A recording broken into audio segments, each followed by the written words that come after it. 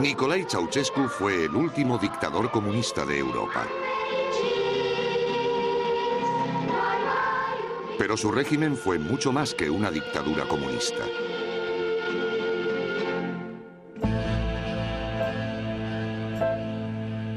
En el centro de la capital rumana se alza el palacio más grande del mundo. Parece un fastuoso monumento de un reino antiguo, pero tiene menos de 20 años.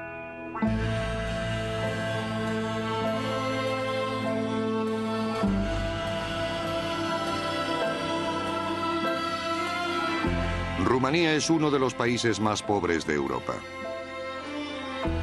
Pero hasta finales de los años 80, sus polvorientos bulevares fueron el telón de fondo de uno de los regímenes más exóticos que haya visto Europa.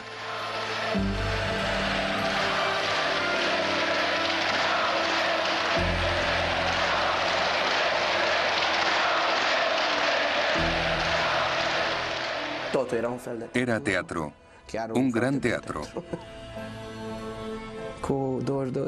22 millones de espectadores aplaudiendo. Nos apodábamos los aplaudidores.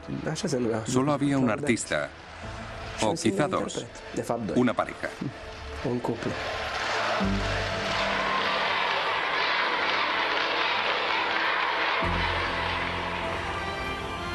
Me parecía un buen hombre.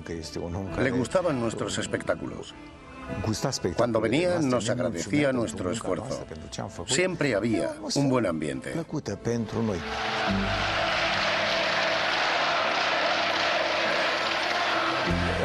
No se deben sacar conclusiones precipitadas.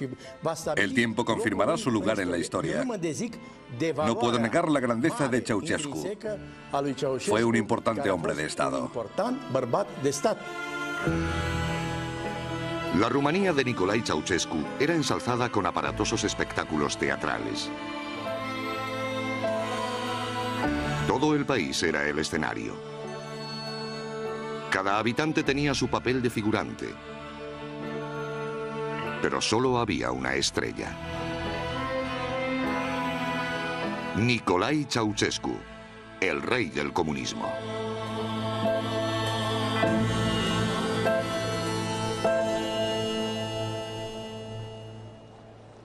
El 21 de agosto de 1968, un joven e inexperto líder comunista organizaba una manifestación que transformaría su poder político. Nicolae Ceausescu, hijo de un campesino rumano, llevaba tres años en el poder. Hasta ese momento había sido visto como una marioneta de los jerarcas del partido. Pero todo iba a cambiar cuando se opuso a la invasión rusa de Checoslovaquia. Yo quería mucho a mi madre. La adoraba. Dios la tenga en su gloria. Esa mañana, ella volvía del mercado con una bolsa de cerezas. Y cuando cruzó la puerta gritó, Cornelius, hijo, los rusos han entrado en Checoslovaquia.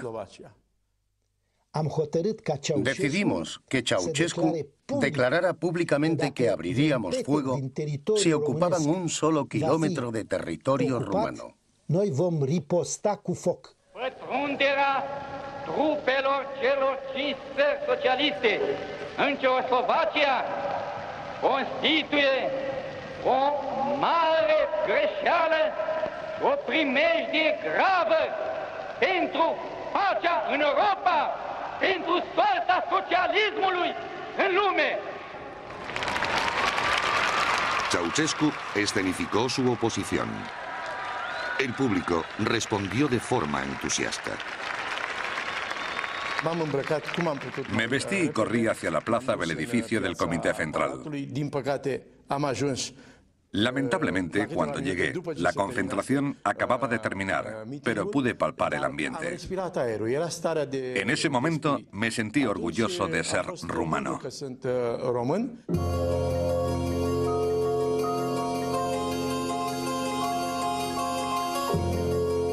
La oposición de Ceausescu a Moscú le lanzó a la escena internacional. Los líderes del mundo llegaron a Bucarest. Nicolai montó grandes concentraciones para aclamarles.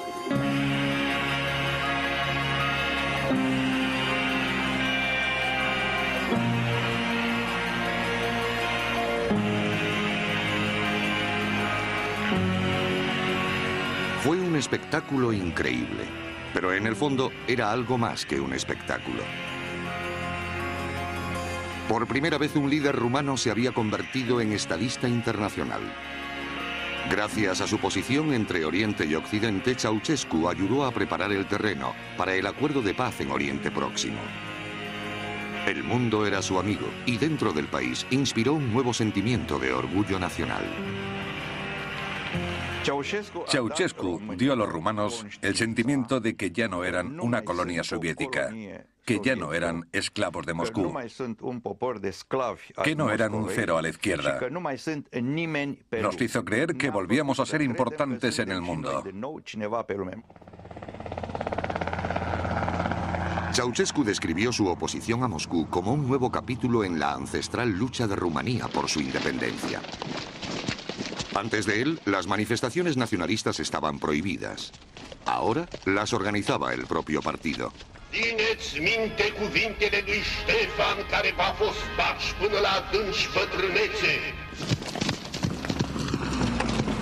Ceausescu participaba en las solemnidades rodeado de jinetes con atuendo medieval. Creía seguir los pasos de los reyes medievales que liberaron a Rumanía de ejércitos extranjeros. Ceausescu representó a esta nación con dignidad y honor. No iba a permitir que hordas de turcos, rusos, alemanes y austríacos pisotearan el país, como ya había ocurrido en el pasado. Recibió apoyo de muchos no comunistas. Los intelectuales nacionalistas respaldaron de forma entusiasta al nuevo líder. Lo llevaron al papel y así nació el culto a la personalidad de Nicolae Ceausescu. Your very existence is a miracle for man. Romanians, hungry and naked, have waited. When we say Ceausescu, we say Romania. When you speak, rocks turn to mountains. The name of this leader is traveling further than any of the other princes, circling the planet as a messenger of our values and the global aspirations for a better and just world. His name is Nikolai Ceausescu.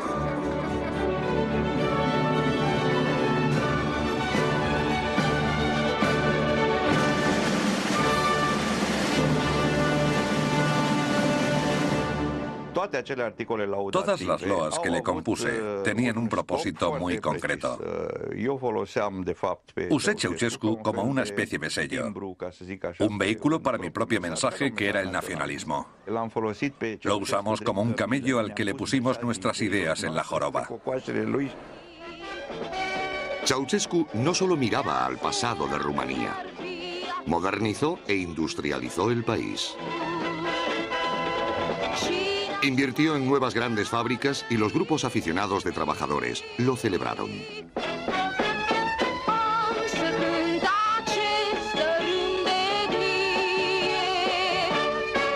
Los empobrecidos campesinos fueron trasladados a bloques de apartamentos recién construidos.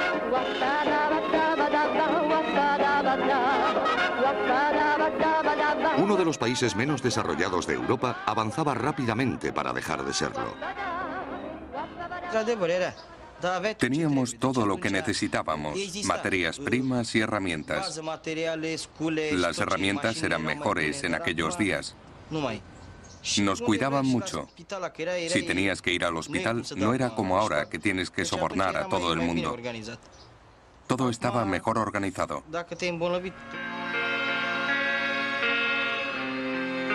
Los comunistas encargaron a numerosos artistas rumanos que pintaran retratos de su líder.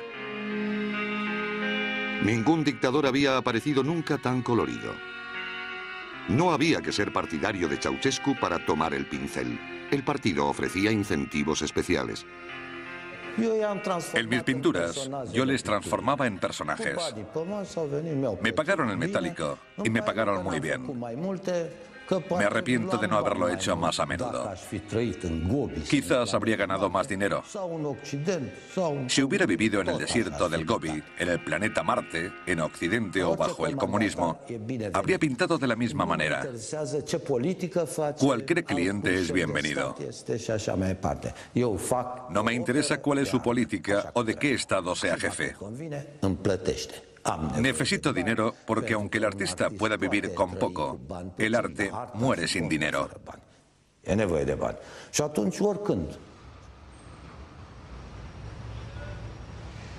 Las ambiciones artísticas de Ceausescu iban más allá de los cuadros, las canciones y los poemas. Quería comunicar a una escala diferente. En estadios.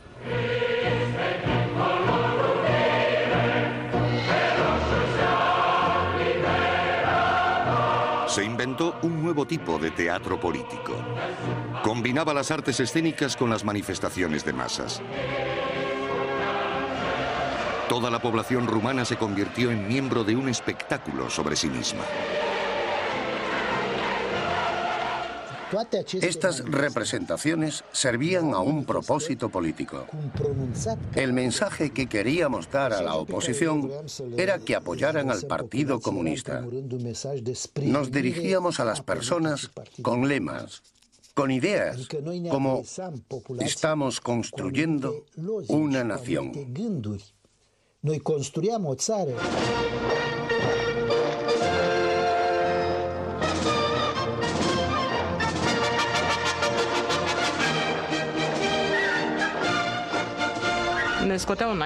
Nos sacaban de la fábrica dos meses antes del espectáculo y ensayábamos en el estadio ocho horas al día con dos descansos.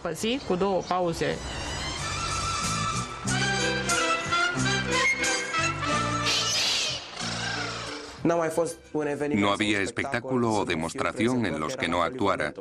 El 23 de agosto, su cumpleaños, o el 1 de mayo, el Día del Trabajo. El 1 de junio, el Día del Niño, y el 2 de mayo, el Día de la Juventud. No pasaba un mes sin que participara en una de esas representaciones. No, no era luna să nu fie câte un spectacol omagial, găseau eu câte un, câte un motiv. Y así fue toda mi infancia.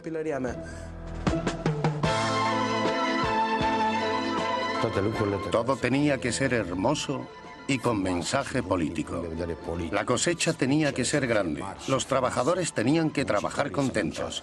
Todo se expresaba con coreografía.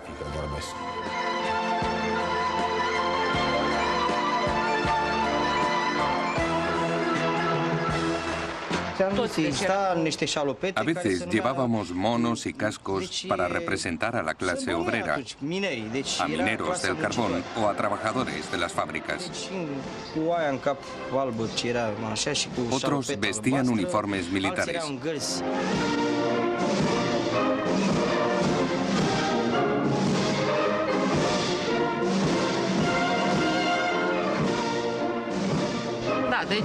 Recibíamos cartulinas numeradas del 1 al 5. Cuando decían un número en voz alta, las levantábamos y aparecía una imagen. Por ejemplo, la cara de Elena Ceausescu. Elena Ceausescu.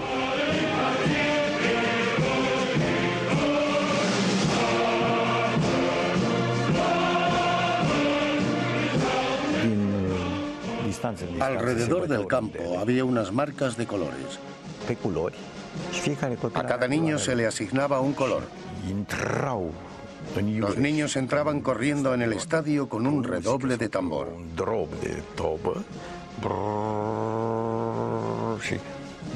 Cuando sonaba la señal se agachaban. Y se podía leer su nombre.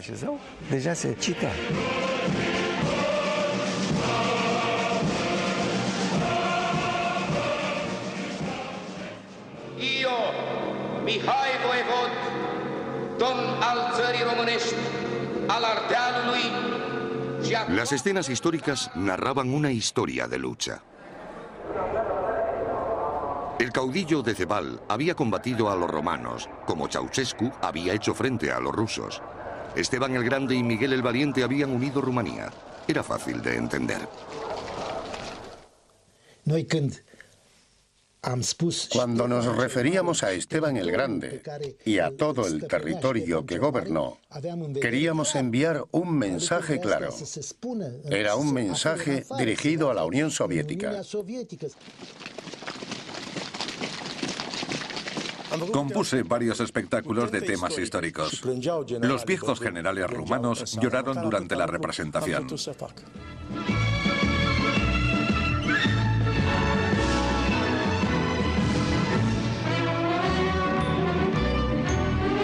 También hubo respuestas menos emotivas. No podíamos esperar. Queríamos ver cómo había quedado todo. Cuando lo veías desde arriba resultaba muy bonito.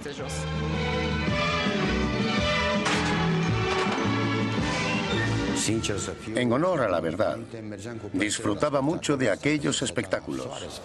Tomábamos el sol y comíamos juntos. Era muy bonito.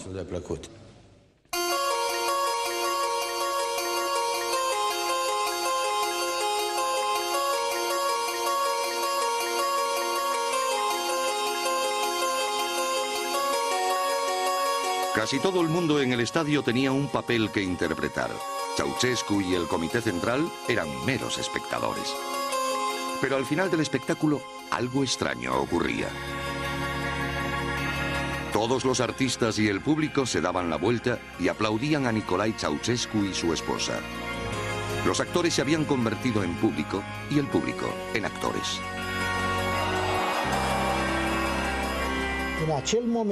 En ese momento, el partido y el pueblo eran uno. Pensábamos y respirábamos juntos. El liderazgo de Ceausescu reflejaba el talante del pueblo y disfrutábamos de un apoyo completo.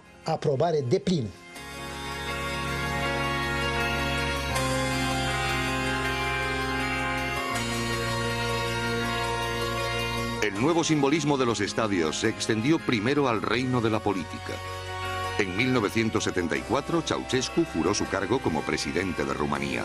Para la ceremonia, los comunistas encargaron algunos objetos sorprendentes. Me invitaron a diseñar un cetro. Era un regalo para Ceausescu. Lo vi un tanto extraño.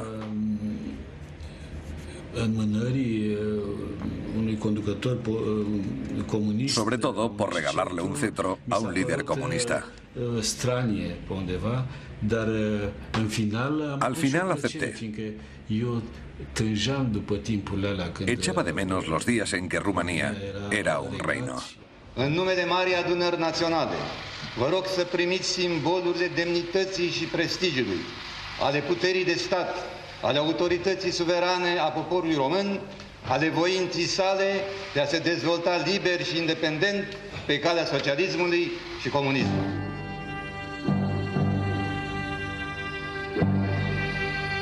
El líder comunista recibía el símbolo de la opresión feudal. El problema era que no se le podía entregar directamente en mano, ni siquiera envuelto en papel. Decidimos hacer un estuche de presentación.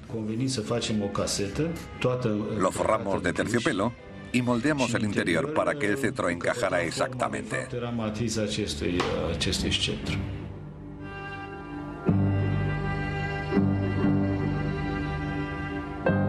Concepción teatral de Ceausescu se extendía más y más. Los medios de comunicación reproducían la imagen de Rumanía representada en los estadios. Los periodistas solo tenían que seguir una sencilla regla. Los titulares eran de este tipo. Logros majestuosos. La era de Nicolai Ceausescu. La era de los logros más importantes de la historia de Rumanía.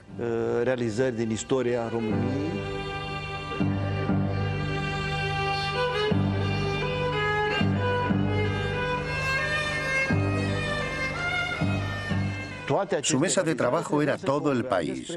Todos sus logros tenían que converger en la cima de la pirámide. Él era el jefe de Estado, líder del partido, jefe del ejército. Él era Nicolae Ceausescu.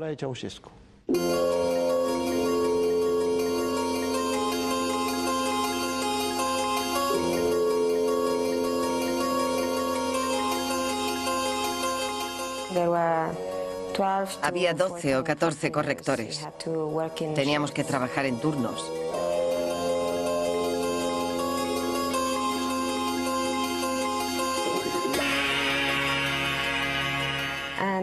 La labor principal era leer todos los artículos y asegurarnos de que todas las palabras estuvieran bien escritas. Y especialmente los nombres de Nicolai y Elena Ceausescu.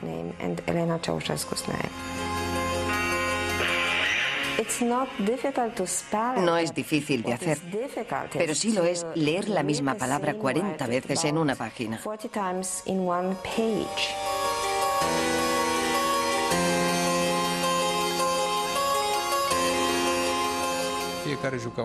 Todo el mundo interpretaba un papel. El periodista debía hacer ciertas preguntas a las que nadie ponía objeciones y el entrevistado respondía lo que el periodista y los líderes del partido esperaban de él. Am urmărit cu profundă satisfacție patriotică magistralul raport expus de secretarul general al Partidului Comunist Român, tovarășul Nicolae Ceaușescu, raport în care și noi, constructorii, ne regăsim în amplele programe de dezvoltare a investițiilor din țara noastră. No se podía cometer ningún error. Las reglas eran claras. No mostrar lo que se suponía que no debía estar ahí. No mostrar su lado izquierdo. Si se tomaba el ángulo equivocado, se veía la piel llena de manchas de un anciano con problemas hepáticos. Ceausescu solía tartamudear un poco cuando decía gente, sobre todo. No debía vérsele hablando ni compartiendo impresiones con el Comité Central. Solo se le podía mostrar aplaudiendo o sonriendo. Había un clásico que era el momento en que los niños se acercaban a él para regalarle flores. Ese momento era obligatorio. Quise ser periodista desde pequeño. Podría haber trabajado en un periódico menos importante y probablemente me hubiera sentido más respaldado. Pero sentí una cierta satisfacción de que la gente me viera en televisión.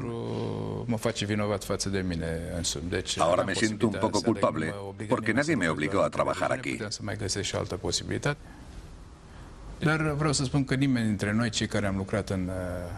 Todos los que trabajamos en el aparato de propaganda fuimos un poco cómplices.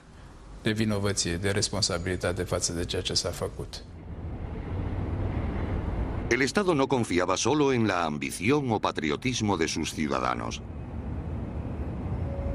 Los que no podían encontrar razones para hacer lo que se les pedía, recibían la ayuda de la policía secreta.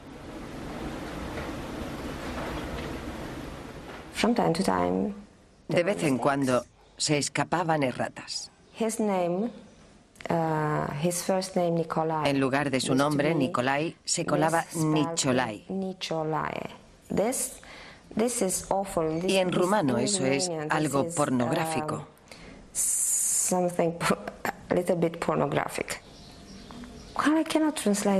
No lo puedo traducir. No, I cannot translate it. It's Sería como pene o algo así. And um, if you had the luck to, to do such si tenías la mala suerte de cometer tal error, podías estar seguro de que la policía te interrogaría. A ti y a todos los demás para comprobar si lo habías hecho a propósito.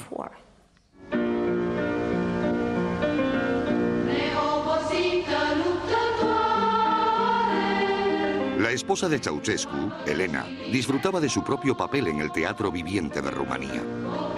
Había dejado el colegio a los 14 años con buenas notas en costura. Pero los medios de comunicación rumanos se vieron forzados a darle un toque más intelectual.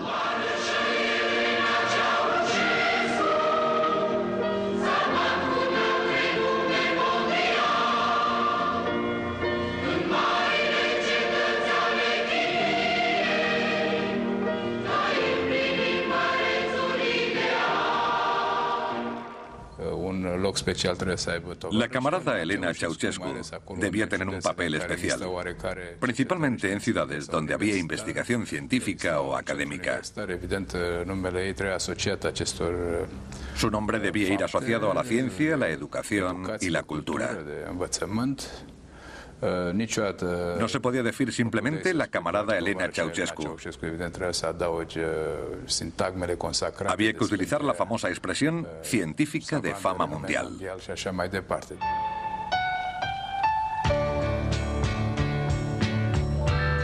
Igual que hicieron con su marido, los poetas la adularon. Pero el culto a la gran química señaló una fase nueva y más creativa en su trabajo. Con Nicolai, los poetas exageraban. Con Elena, inventaban directamente. This day of yearning and glory is inscribed in the calendar, cast in letters of gold and garlanded with lavender. For this is the day on which Romania gave birth to a woman we all know is without equal on earth. Soy culpable de haberle compuesto algunos poemas. Pero no fue por mi carrera.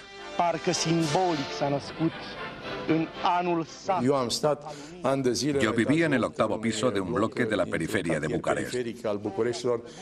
Lo hice porque intentaba convencerla de que apoyara la cultura rumana. Uh, în ideea de a o convinge să ajute. Intentaba domesticarla. Și poate să o îmblânzesc. Nu e uh, departe de... Como en una obra de Shakespeare. Uh, unui titlu de piesă celebră din opera lui Shakespeare. La firefiglia uh, domada. Sau îmblânzirea scorpiei. No puteam să învăț... No podía aprenderme un poema, porque era sobre Elena Ceausescu. No lograba que me entrara en la cabeza. Me enfadaba y me negaba a aprender esa tontería en la que no creía. Había palabras y expresiones como brillante, ingeniosa, lo fantástica que era. Todo era una estupidez colosal. Mi madre me llevó a un lado y me preguntó si estaba loco. Si no lo hacía, nos arrestarían a todos.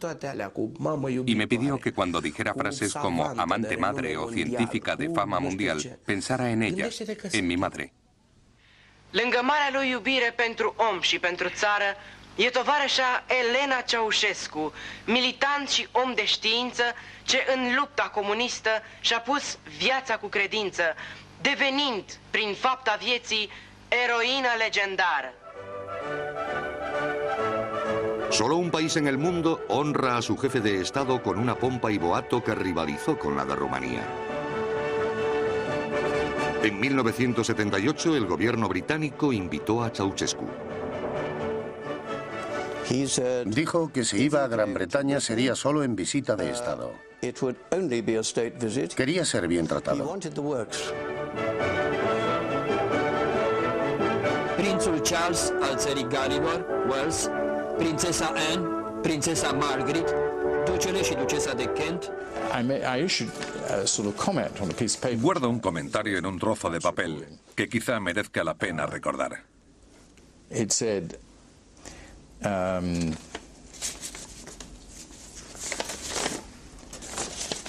Mi secretario privado dijo, el doctor Owen ha comentado sobre esta visita, ¿quién aprobó esto? Si he sido yo, me arrepiento de ello.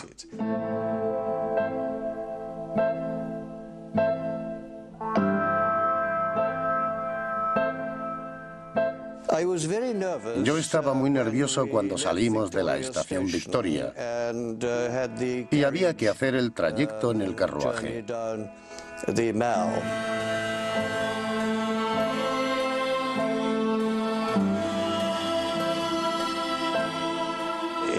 De haberse producido abucheos, hubiera causado una muy mala impresión. Ceausescu había sido invitado a Gran Bretaña con la esperanza de que comprara aviones. El anunciado éxito económico de Rumanía iba a ser puesto a prueba en el mundo real. Las negociaciones con British Aerospace y otras empresas asociadas fueron un horror absoluto de principio a fin. Rumanía es un país muy pobre y trataban de alcanzar un gran acuerdo, pero estaban obligados a disponer de dinero para pagar. Introdujeron algo que llamaron acuerdos de compensación. Gracias a ellos, en vez de pagarnos en metálico, se ofrecían a hacerlo con lo que ya no le servía a nadie. Podían ser naranjas, nabos, tuberías de plomo o cualquier otra cosa.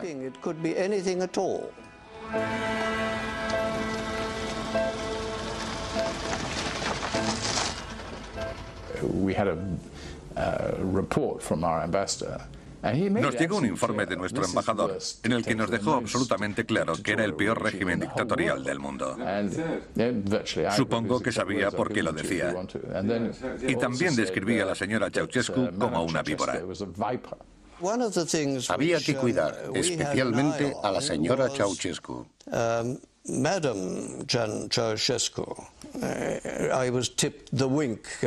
Bucarest me habían dicho que había que tenerla contenta.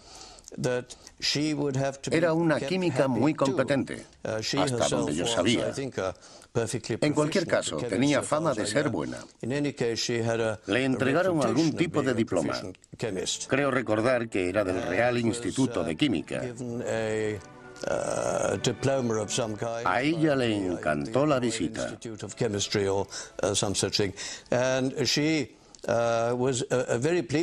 Él estaba encantado de que ella fuera feliz. Y nosotros estábamos felices de que ella estuviera encantada.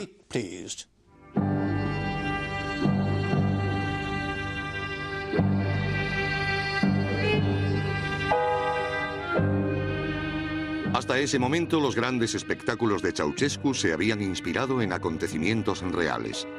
Pero a principios de los 80, Rumanía ya no seguía el guion.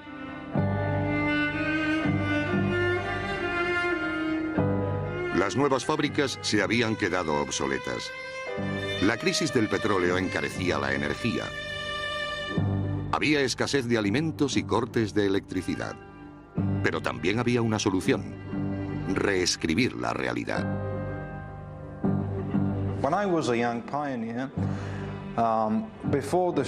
Cuando yo era un joven pionero, antes de los desfiles y los espectáculos, una mañana nos sacaron del colegio y nos llevaron a un lugar cerca del Danubio para esperar a Ceausescu, que iba a hacer una visita con motivo de la fiesta de la cosecha.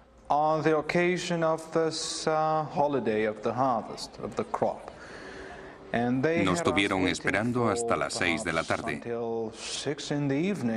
hasta que al final hizo aparición en su helicóptero. Estrechó las manos de algunas personas y se fue a visitar una gran exposición con los productos de las cosechas, excepto algunos de ellos como maíz, repollos y melones. El resto estaban hechos de poliestireno y madera materiales parecidos al plástico, pintados para darle buen aspecto.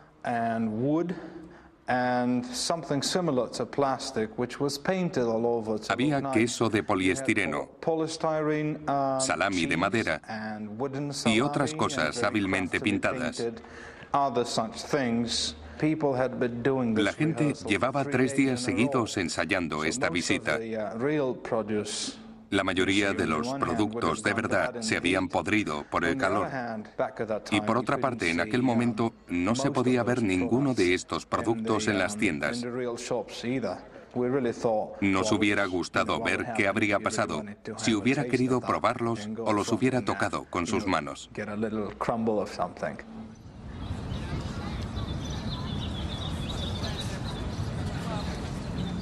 Según los periódicos, la economía rumana seguía creciendo rápidamente.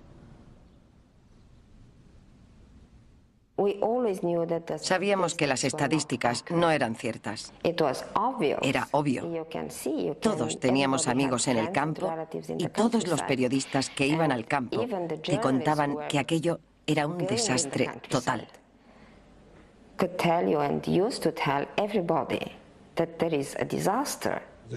¿Se podía confiar en las estadísticas que daba Ceausescu en los años 80? ¿Qué estadísticas? ¿Por qué basarlo todo en estadísticas? Si alguien pregunta si eran reales, le diría que había que basarse en hechos. No había suficiente agua para lavarnos. La gente no tenía bastante papel higiénico, ni jabón. Y solo se podía comprar una cierta cantidad de pan.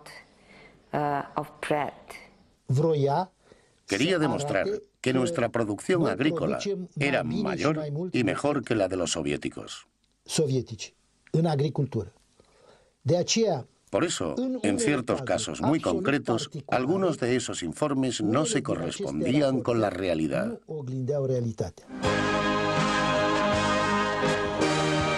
En los años 80 los espectáculos se multiplicaron y se hicieron más complejos. En aquellos tiempos difíciles, la cúpula comunista los miraba con otros ojos. En su día habían sido un instrumento de persuasión, ahora eran una fuente de consuelo. En honor a la verdad, creo que a una gran parte de la población le gustaban esos espectáculos. Eran de buen gusto. En ellos trabajaban los mejores directores, lo mejor del teatro y los mejores poetas.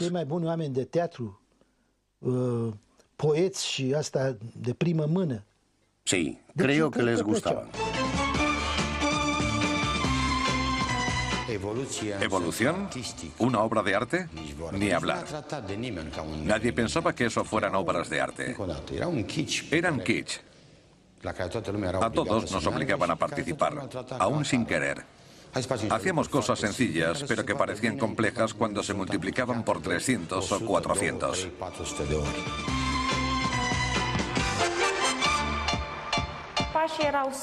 Los pasos eran muy sencillos. Íbamos segando así.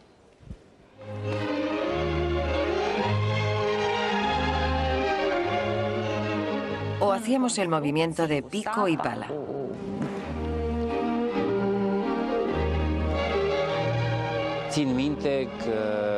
El 23 de agosto se hizo una escenificación sobre Decebal y Trajano.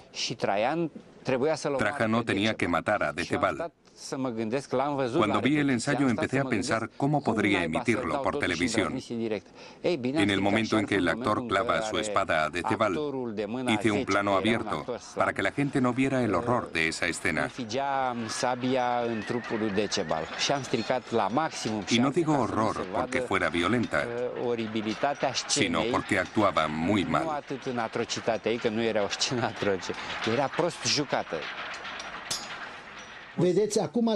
Hoy la gente dice que los últimos 45 años de historia rumana con los comunistas fueron un desastre. Pero es estúpido pensar que los rumanos iban a seguir aplaudiendo a unos líderes que supuestamente llevaban gobernándoles mal 45 años. Hablamos de cientos de miles, de millones de personas. Claro que había que cantar, no había elección. Siempre había alguien del partido en medio. ¿Cómo se llamaban? Activistas. Activistas. Había uno por cada cinco o seis personas con las consignas que había que cantar o gritar. Si decías cualquier otra cosa, te arrestaban allí mismo.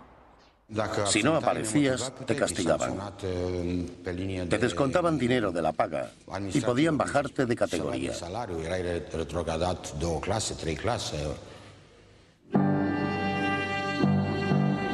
Rumanía vivía una catástrofe económica.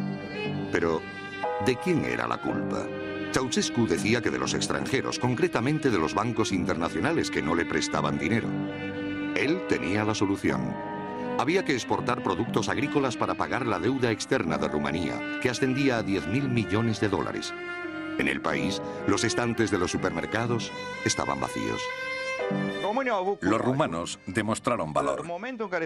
Cuando el mundo financiero intentó asfixiarnos, nos apretamos el cinturón, pasamos hambre y pagamos. Era una guerra por la dignidad, una guerra porque los países se levantaran y demostraran que podían ser autosuficientes. No ser asfixiados por la globalización que ahora está ahogando el planeta. Los rumanos fuimos los primeros en empezar la lucha. En el pasado luchamos contra el imperialismo otomano y soviético, ahora contra la globalización.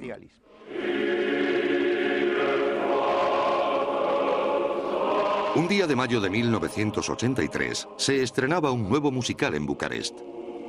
Por primera y única vez un actor encarnaba a Ceausescu.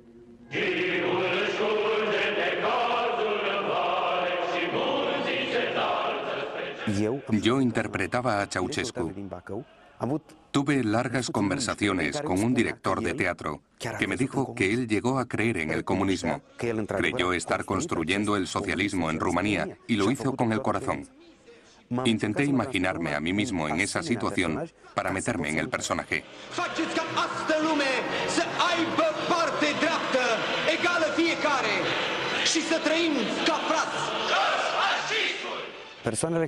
Había agentes de la seguridad del Estado. Todos necesitaban un pase para entrar y te cacheaban en la entrada. Empezaron a confundirme con el personaje que estaba interpretando. Eso me estresaba. Y comencé a volverme paranoico. Cuando llegaba, los agentes de la seguridad me hacían el saludo militar. Había un grupo de bailarinas a las que conocía de un trabajo anterior. Una de ellas era buena amiga mía. Un día salimos a fumar un cigarrillo durante un descanso y se sentó en mis rodillas. Fumamos y volvimos a entrar. Entonces vino un coronel y me dijo que tuviera un poco más de cuidado. Porque yo no era como los demás. Y era una vergüenza que al camarada Ceausescu se le viera con una bailarina en el regazo, porque se podía malinterpretar la situación.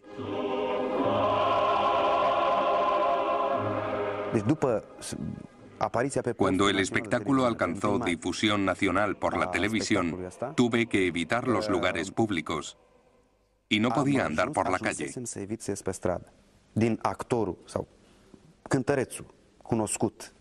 Había pasado de un actor y cantante desconocido para la mayoría del público a ser el gran Ceausescu. Algunas personas me miraban con repulsión por la calle. Me decían, te hemos visto interpretar a Ceausescu.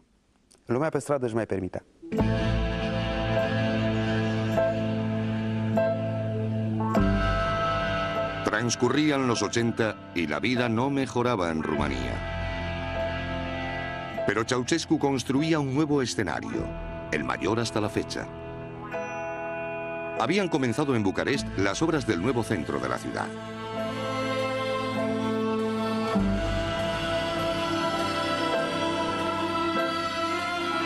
Fueron destruidos muchos edificios históricos.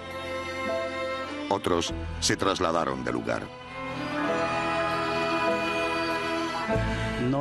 A menudo creíamos que demolerían o trasladarían la iglesia. Porque cuando Elena o Nicolai Ceausescu planeaban pasar por aquí, enviaban un agente de la seguridad del Estado Venía y nos ordenaba que no rezáramos dentro o fuera de la iglesia y que no tocáramos las campanas. Ordenaba cualquier cosa. Finalmente, en 1986, Nicolai Ceausescu decretó que la iglesia debía desplazarse 23 metros más atrás y que se construyera un bloque de apartamentos alrededor para que no pudiera ser vista desde la calle.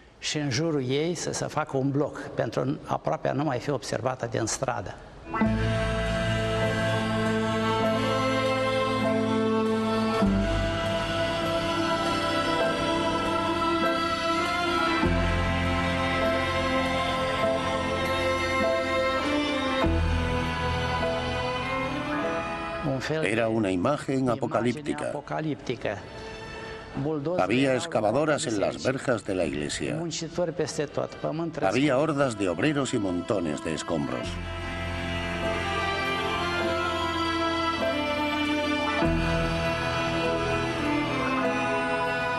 Fue un sacrilegio. Deseé que nuestro Señor impusiera a Ceausescu el castigo que finalmente recibió.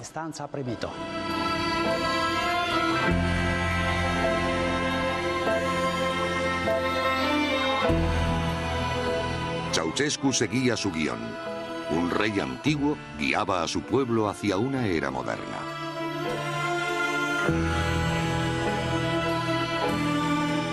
En el nuevo mundo del dictador, los campesinos serían trasladados a bloques de apartamentos, mientras él vivía en un inmenso palacio, el mayor del mundo.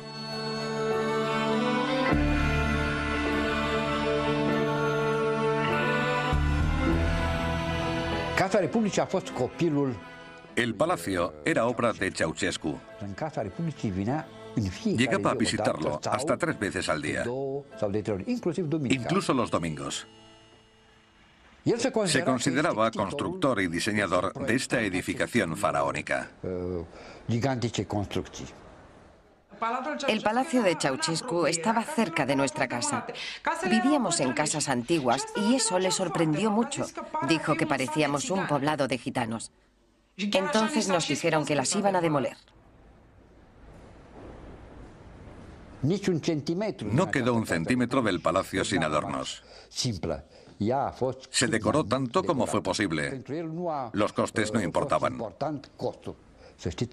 No hay un solo objeto importado en el edificio. Todo se hizo en el país.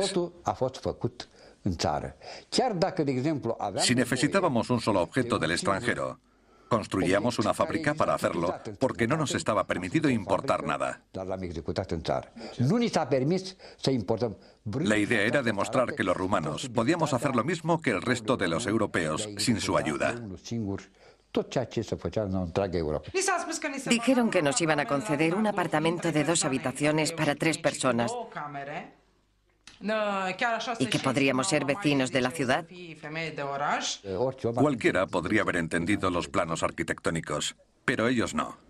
Lo que se construía un día, lo demolíamos al siguiente y lo cambiábamos y reconstruíamos después. Eso fue así siempre. Hubo algunas escaleras que se cambiaron, se demolieron dos veces y finalmente se volvieron a construir. Ninguno de los apartamentos tenía la fontanería de los baños. Detrás de cada bloque había una letrina exterior, una para cada planta. Era como estar en el campo. Los ancianos no podían andar tanto, así que se veían obligados a hacer sus necesidades en un cubo que teníamos que sacar por las mañanas.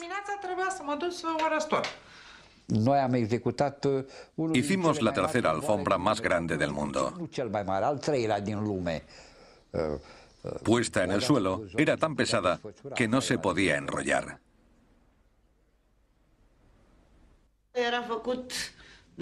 Tendrían buen aspecto, pero no eran más que unas cuantas paredes prefabricadas. Cuando traspasabas la puerta, era como estar en un teatro de marionetas. Trataban el palacio como si fuera un teatro, el lugar de una gran representación. Porque en un teatro no hay nada real. No deja de ser un escenario con unos decorados pintados.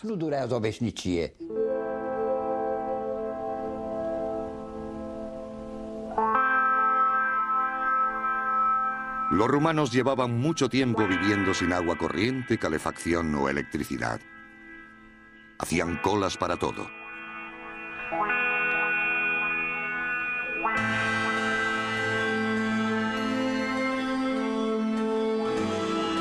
Finalmente, la realidad alcanzó al teatro de Ceausescu. Cuando se hizo el último desfile, ni siquiera el espectáculo fue real. Cuando pasábamos, agitábamos las manos y él nos devolvía el saludo. Pero las canciones y gritos llegaban de los altavoces. Nosotros ya no decíamos esas cosas.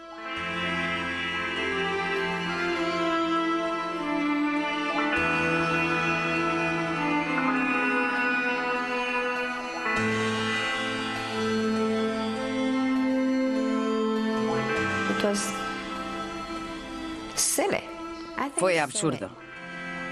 Una tontería. Todo estaba en una cinta. Nadie aplaudía ni gritaba nada. Todo era grabado. Estábamos llenos de ira. Hacíamos cola toda la noche para comprar carne. Y al día siguiente teníamos que ir a adorar a nuestros líderes.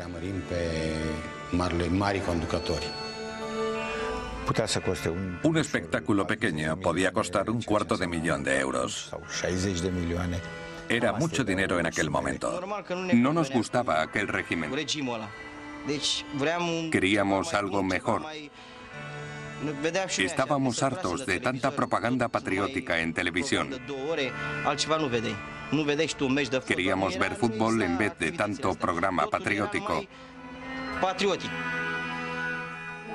Cada vez había menos razones para que políticos y poetas continuaran respaldando a su líder, pero había una que eclipsaba al resto.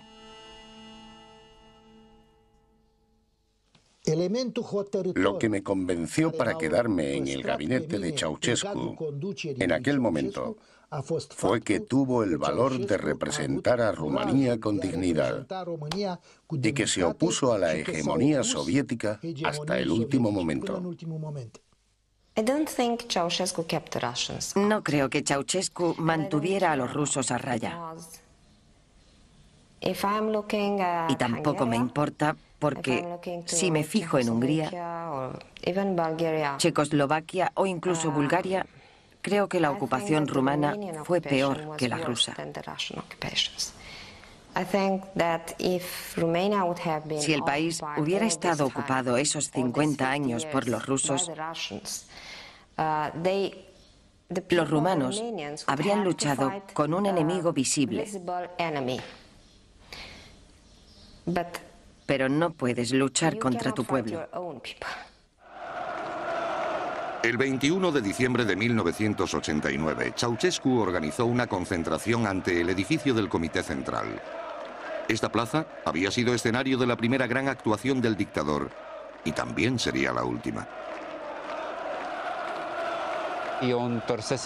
Yo estaba haciendo una panorámica de la plaza y de repente vi que unas personas Estaban pisoteando unas pancartas.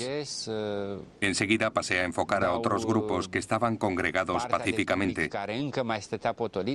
Después enfoqué al balcón para retransmitir momentos memorables, como cuando Ceausescu dijo, camaradas, alto.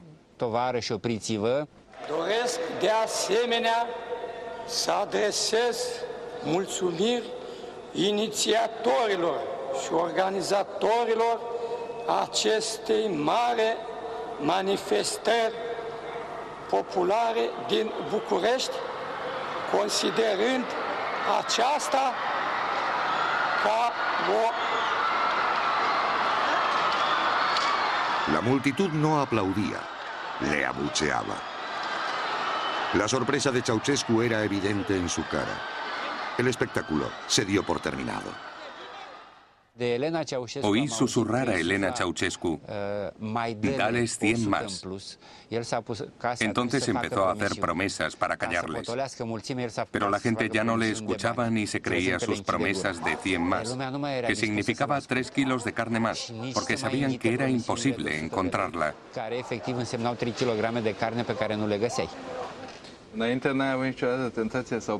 ¿Se sintió tentado de mostrar las imágenes de la gente pisoteando las pancartas? No. Nunca me sentí tentado de mostrar imágenes inapropiadas. Y no porque tuviera miedo, sino porque respetaba la ética profesional. Había aparecido la primera brecha. El final fue rápido. El edificio del Comité Central fue asaltado. Ceausescu huyó en helicóptero. Un grupo de comunistas de segundo nivel formó un gobierno de emergencia. Cuando vi despegar el helicóptero de Ceausescu del edificio del Comité Central, me fui a casa pensando que por fin nos habíamos liberado del dictador y que yo podría empezar un nuevo trabajo. Pero cuando puse la televisión y vi a aquellos oportunistas de segunda en el estudio, Pensé que parecía el segundo acto de la misma obra de teatro.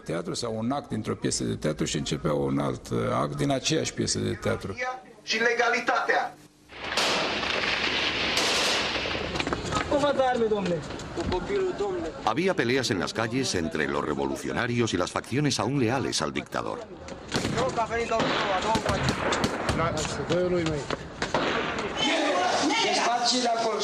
El helicóptero de Ceausescu no llegó muy lejos. Él y su mujer fueron capturados y juzgados por un tribunal nombrado por el nuevo gobierno. Fue un juicio sin ningún valor legal. Duró dos horas. Los Ceausescu declarados culpables de corrupción y de la destrucción de la economía rumana fueron fusilados.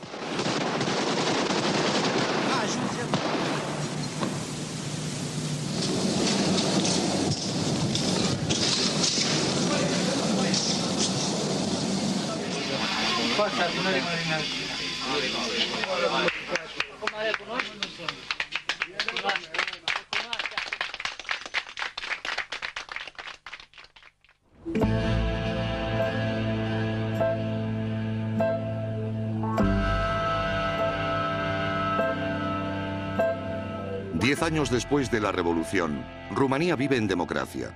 Pero las decisiones que toman los rumanos son similares a las que tomaron por ellos.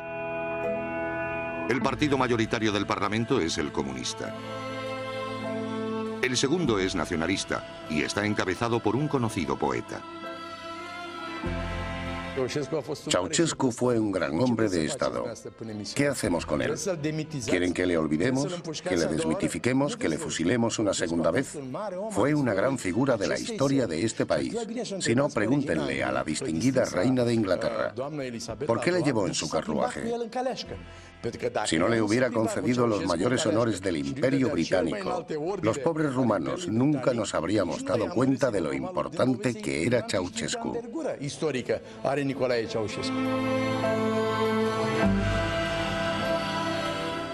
Si Ceausescu volviera de entre los muertos, tendríamos que volver a hacerlo todo igual y también tendríamos que volver a matarle.